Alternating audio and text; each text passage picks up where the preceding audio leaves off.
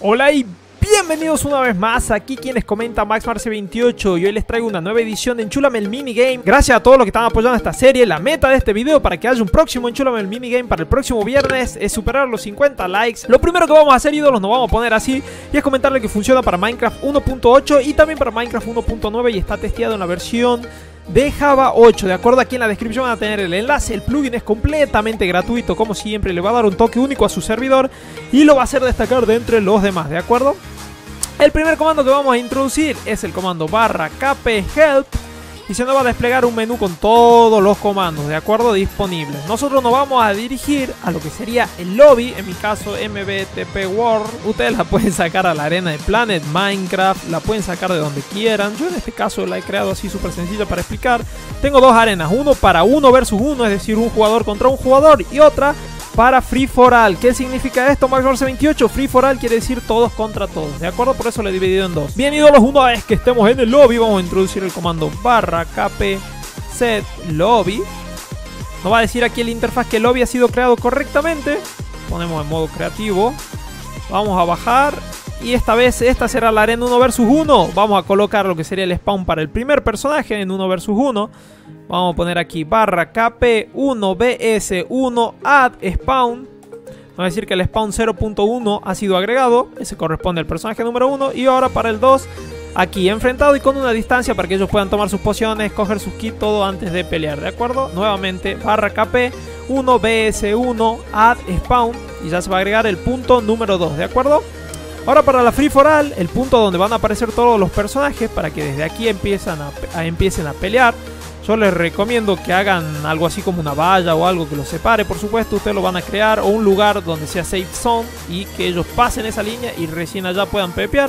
En este caso lo vamos a poner aquí, vamos a introducir el comando barra kp ffa set spawn, que se me va la voz, va a decir que el spawn free for all, todos contra todos, ha sido agregado. Bien, una vez que hayamos agregado el punto, recuerden que deben proteger la zona. Yo he creado así, ¿para qué? Para que ellos aquí sean invencibles van a crear la región con el, con el One de World Edit y World War. Seleccionan, eh, a ver, seleccionan aquí el primer corner, la primera esquina, luego la inferior y colocan el comando barra RG.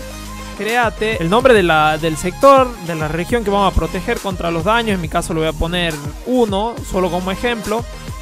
Ahora RG flag 1, que era el nombre. Ustedes le pondrán el que quieran. Les voy a poner ahora PvP Denny para que no se pueda PvPear en este lado y también le voy a poner el Invincible Allow Invincible Allow esto lo hace inmortales a todos los que están dentro de esta región entonces aquí ya no pasará nada ahora si bajan desde aquí ya aquí van a poder matarse entre todos y no van a poder volver a la parte de invisibilidad. Este es solo un ejemplo, ¿de acuerdo? Ustedes lo harán como quieran. Vamos a introducir ahora el comando 1BS1 Save Arena.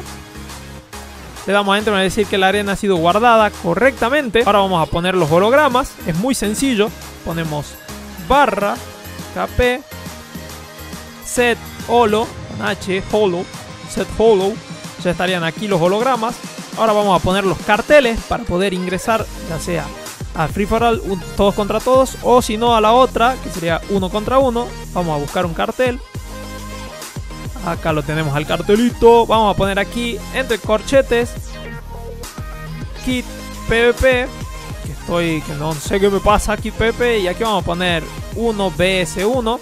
Este sería para entrar al 1 versus 1. Aquí vamos a poner corchete, KP, kit, PvP, perdón. Cerramos corchete y ponemos FFA, ¿de acuerdo? Y aquí tenemos el cartel para entrar a Free for All o para entrar a Kit PvP. Luego en el spawn, vamos al spawn principal, atención a esto. Vamos a buscar un lugar donde vamos a poner el cartel.